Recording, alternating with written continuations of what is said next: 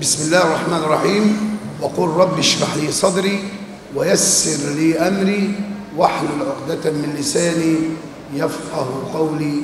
صدق الله العظيم. بداية أحب ألفت نظر حضراتكم لحاجة مهمة جدا في كلمة محامي. لابد أن أكون محاميا ناجحا لابد أن أتبع الآتي قبل أي حاجة. وده سبب عندما تخرجت 85 وجدت مجد قوة ومجد مهنة المحاماة وكرامة المحامي أما من بعد الحراسة القضائية عام 94 وجدت بدأ العقد بتاعنا يفرض من عدة أسباب وعدة عوامل أدت إلى ضعف مهنة المحاماة والمحامي أنا جاي مش علشان أقول قانون. القانون في إيد حضراتكم والكتب كلنا كلها معانا. والنهاردة يعني بفضل الله كمان تطور الأساليب العلمية الحديثة النت. تضرب على النت المادة اللي أنت عايز تلقاها أو حكم النقد اللي أنت عايزه تلقاه أنا جيت هنا استأذنت السيد الأستاذ النقيب والأستاذ حسين الجمال واسماعيل طه علشان يعني أوضح لحضراتكم كيف نعود بالمهنة إلى ما كانت عليه وأحسن. وقلت البداية تبدأ من حضراتكم لأن أنتوا جيل المستقبل. ونتمنى ونعشى فيكم إن شاء الله تكونوا عند حسن ظن.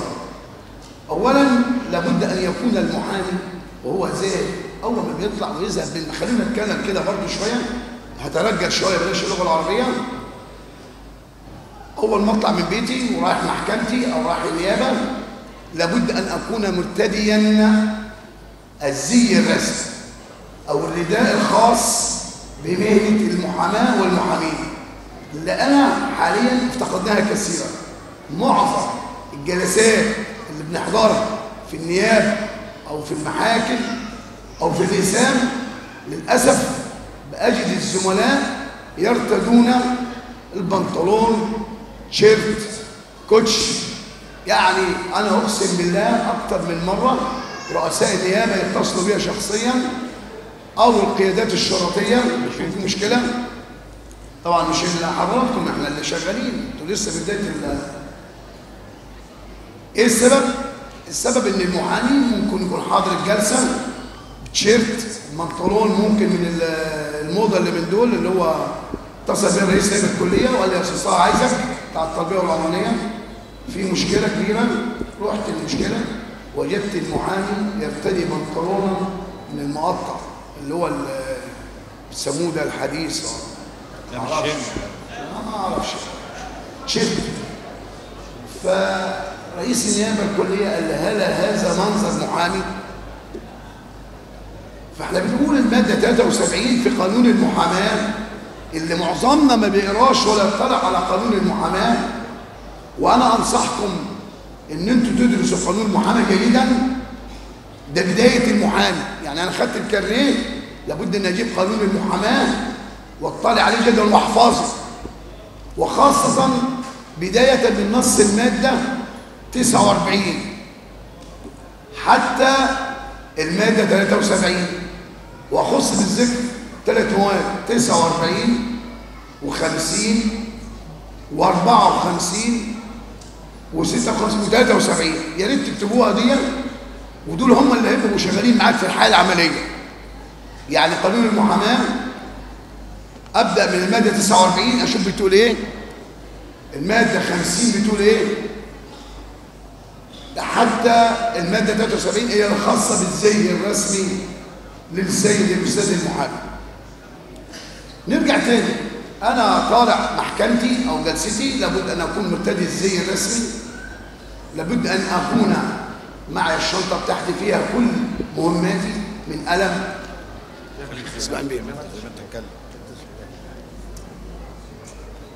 أما كوني إن أنا أذهب إلى المحكمة أو الاسم ازيك اسماعيل بيه.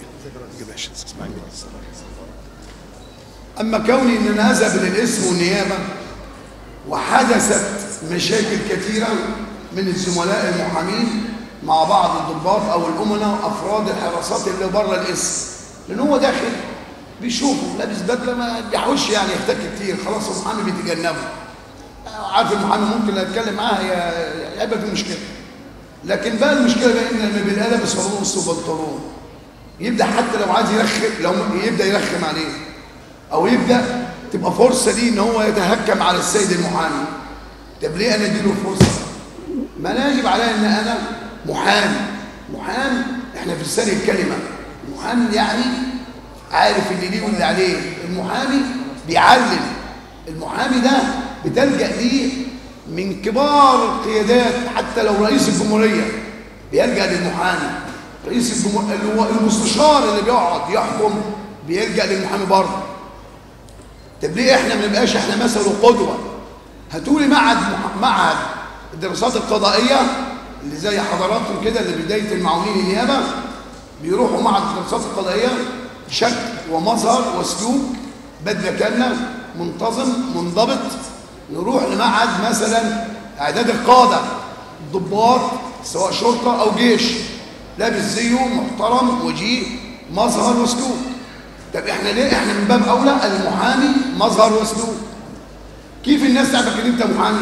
في المحكمة في النيابة في من خلال الرداء بتاعك اللي هو قالت عليه المادة 73 يجب على المحامي أن يرتدي الرداء الخاص به للأسف الظاهرة انتشرت. وإحنا أنا طلبت السيد الأستاذ النقيب أكثر من مرة بتفعيل مجالس التأديب. لابد أن يكون هناك مجلس تأديب ليه؟ ما أنت بتحرجنا وبتحرج النقيب والمجلس. في قانون محاماة لابد أن إحنا نحترمه ونقدره ونحقق ما فيه.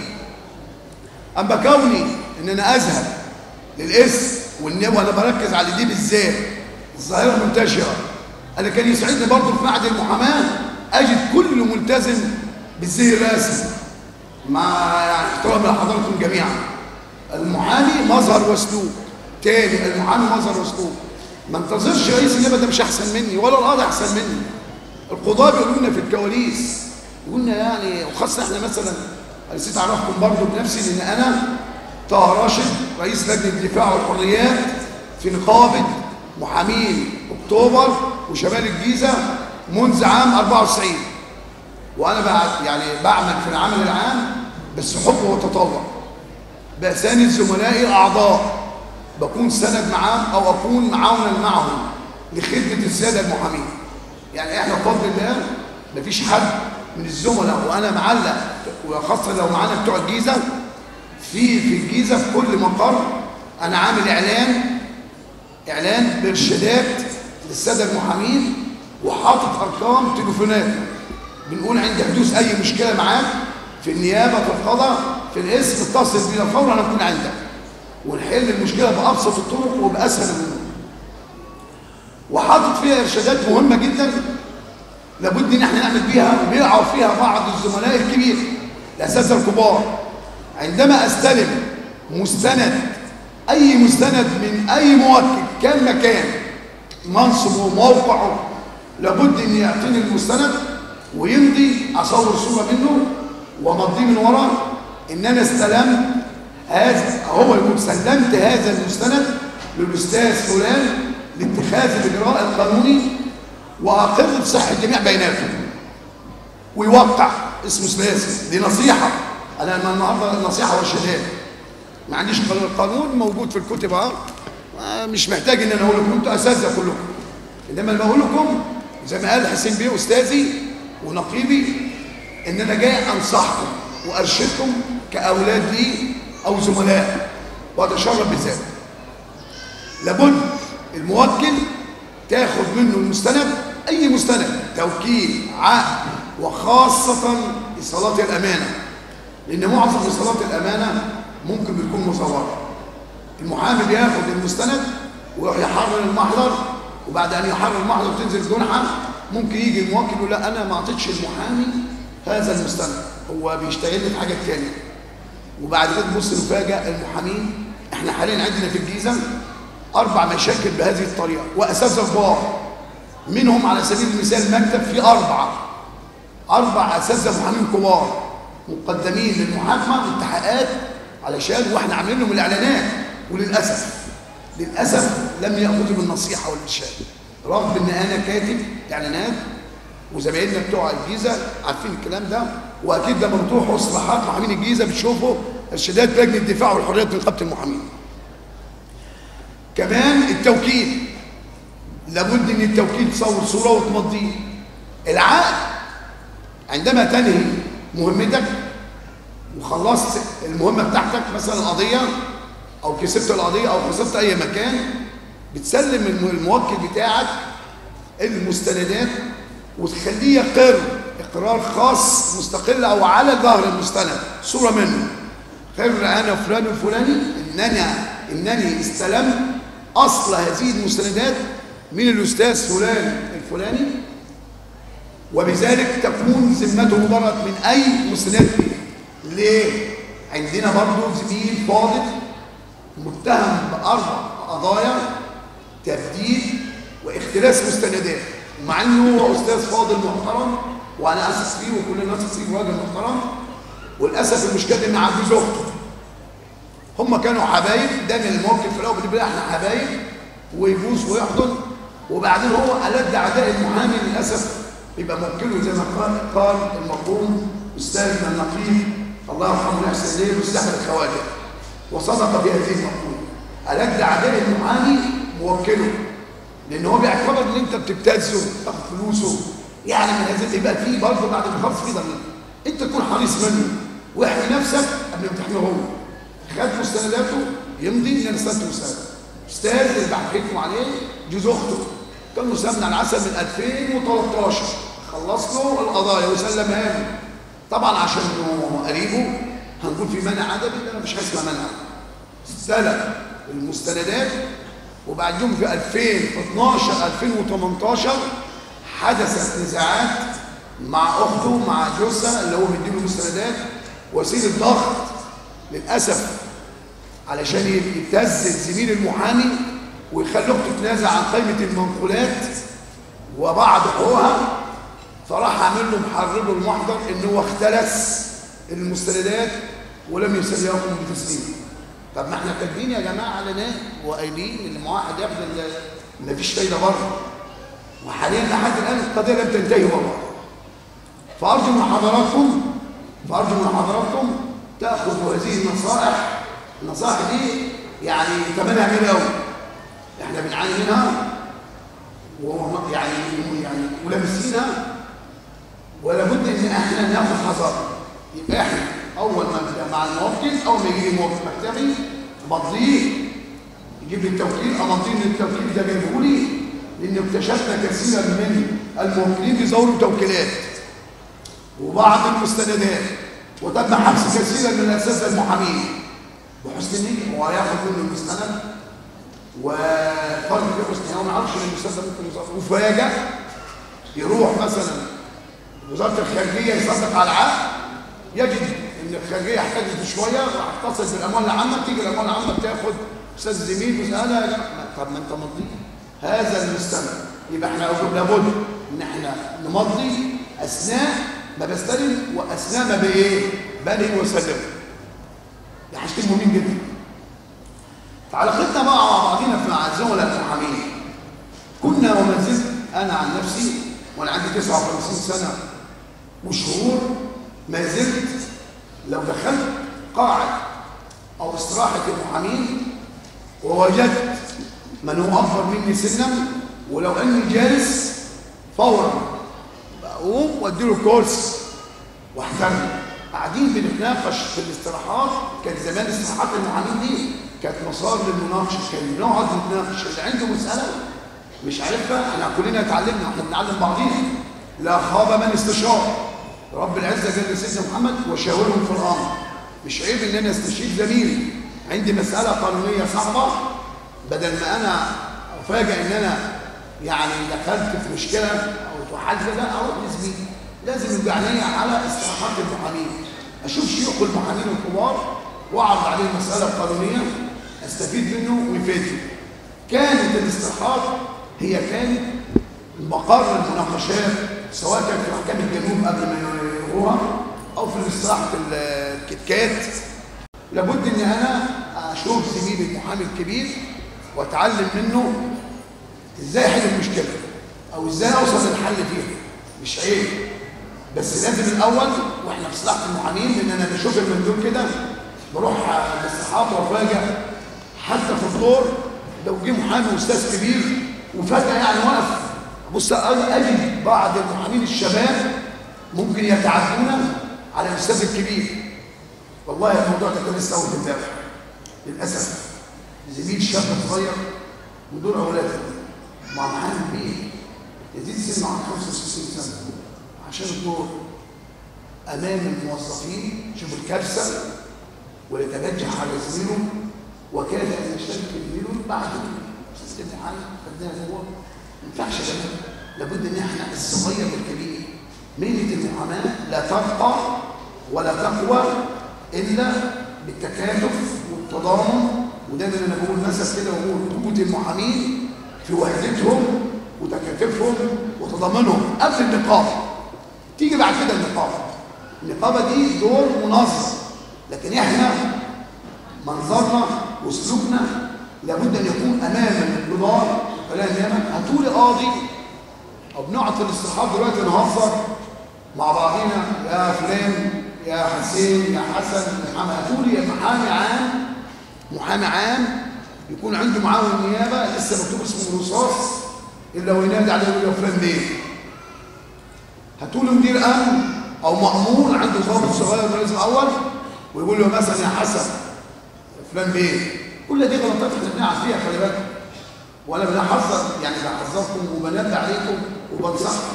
زميلك مش هنخسر حاجة يا أستاذ فلان. ما بقى حسن يا حسين وهو يقول لي مش عارفه مين أو نهزر مع بعضينا. أو ما يحدث من المحامين إن هو يروح داخل مع السيستمتين يبدأ أو المحامية تبدأ يعني الهزار مع الموظف. عندما يحدث ذلك بتنهار قيادنا بتنهار قيمتنا بتنهار. هاتولي السكرتير يقدر يجرؤ يدخل على وكيل نيابة أو قاضي لما يستأذنه أو يتكلم معاه بطريقة غير لائقة أو يهزر. في المحكمة لابد أن يكون إحنا نحترم بعضينا أمام الناس وخاصة الموظفين وراه وكلاء النيابة. النهارده بنشوف رئيس النيابه بيدخل أو المحامي العام يدخل. كل السادة أعضاء النيابة كلهم له احتراما. لكن إحنا للأسف الظاهرة انتشرت النهارده مفيش صغير مفيش كبير أنا بقول لكم 59 سنة ولو وجدت أحد الزملاء الكبار بقوم اقدم له الكرسي. ده يجب. وبنبه على اولادي بقول لهم كده معايا أولاد محامين زيهم. اوعى اوعى هزاني لأن الانسان صوره من البيئة. فإحنا لابد لابد عشان نرجع زي ما كانت المهنه قوية. وكان يعمل لها ألف حساب بحبنا وتكاتفنا مع بعضنا يجب أن يكون هناك تضامن وتعاون أي زميل ليه في أي محكمة. معاه مشكلة. ما تسيبوش. مش عشان أنا ما اعرفوش أسيبه. لا. أروح أشوف زميلي ولو على حق اقف معاه على غير حق احل له مشكلته برضه بدون انفعال. عشان ممكن المشكلة بتزيد شوف زميلي إحنا كمحامين يعني الورقه والقلم موظف معاه كذا ما رضيش يديك محضر الجلسه ما رضيش يطلع على الم... على القضية. تعامل معاك بطريقة غير لائقة. في ورقه وقلم رئيس قلم أروح رئيس القلم الأول. ثم أذهب رئيس القلم ما حلش أطلع رئيس المحكمة. هيجي لك جري لحد عندك ويعتذر لك. أما كون إن أنا أخش افتح المشكلة لا أنت محامي لو مسكك من الجاكيت أو أشار إليك كده كده ما انتهى لا في ورقه وقلم الموظف دخل معايا في مشكلة ما اخش معاه في جدال في حاجة اسمها ورقة وقلم صدقوني الورقة والقلم بتجيب نتيجة مليون في المية. لو ما ادكش حقك رئيس القلم عندك رئيس المحكمة. كذلك النيابة. في معاون نيابة صغير مش فاهم. ده اللي هو المعاون النيابه الصغير ده بيبقى يعني شايف نفسه زي الضابط الصغير. وبرضه بنصحكم عدم التعامل مع الضباط الصغيرين في اللسان عندك المأمور نادي المأمور. حصه مشكله لا ما تكلمش خالص.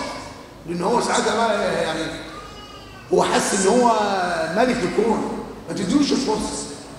عمل مشكلة أجي اذهب إلى المأمور أو نائب المأمور.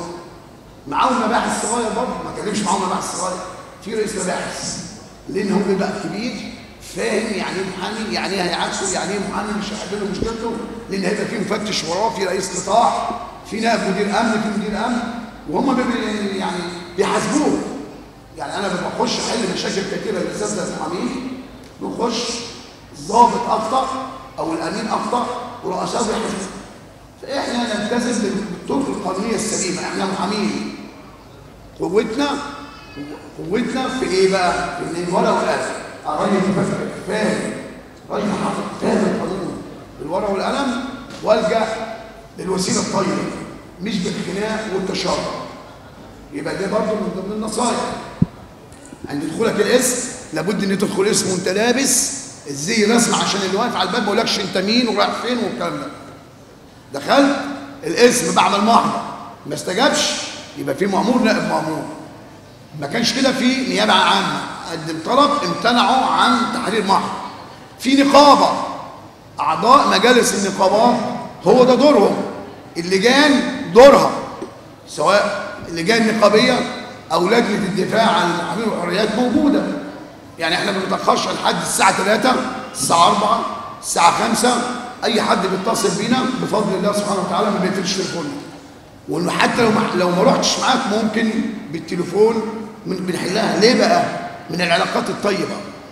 العلاقات الطيبة اللي بنبنيها مع السادة رؤساء المحاكم أو السادة رؤساء النيابات أو السادة المأمير أو السادة مفتشين مباحث أو مدير الامن بيبقى غصب عن إيه المشكلة بتحل وبتحل بالراحة دون انفعال ودون ضجيج. فأرجو من حضراتكم النصائح اللي بديها لكم. إحنا قلنا القانون أرجو من حضراتكم من 49 ل 73 تقروها.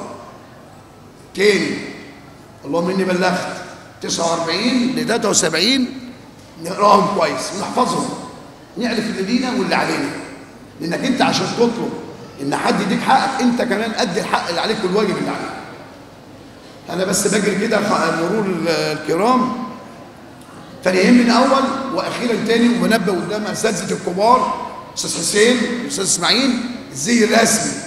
لابد المحامي يحترم نفسه الأول قبل ما حد لا مؤاخذة يحاول المساس بيه. إيه المشكلة ان أنا حتى لو هلبس قميص عليه كرافته إيه المشكلة يعني؟ هات لي ظابط هات لي قاضي هات لي وكيل نيابة بيدخل أوضة التحقيق أو قاعد على المنصة دون أن يكون مرتدي البدلة بتاعته. اشمعنى إحنا محامين يعني؟ فدي مهمة جدا ملحوظة ملحوظة مهمة جدا في مشاكل المحامين عشان نمنعها قلنا في كذا طريق. في أعضاء نقابات ما نفتعلش مشكلة. في أعضاء نقابات في لجان نقابية دول هم خير سند وعون ليكم. امال إحنا بنجيب الأعضاء وبننتخبهم وبيضحوا بوقتهم علشان خدمة الساده المحامين وأنا يعني بشكركم على حسن الاستماع. ومش عايز اطيب لأنه خير الكلام ما قل ودل. حب. حبكم لبعضكم أول حاجة. لازم نحب بعضينا ونتضامن مع بعضينا. دي أهم حاجة. دي قوة المحامين في وحدتهم وإرادتهم القوية. أهم حاجة دي يا جماعة. وأنا طبعا أشكركم شكرا جزيلا. وأتمنى وأنا تليفوني مكتوب في جميع المقرات بتاعة شمال وجنوب الجيزة.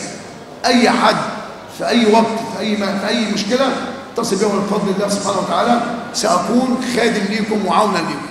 وشكرا. والسلام عليكم ورحمة الله وبركاته.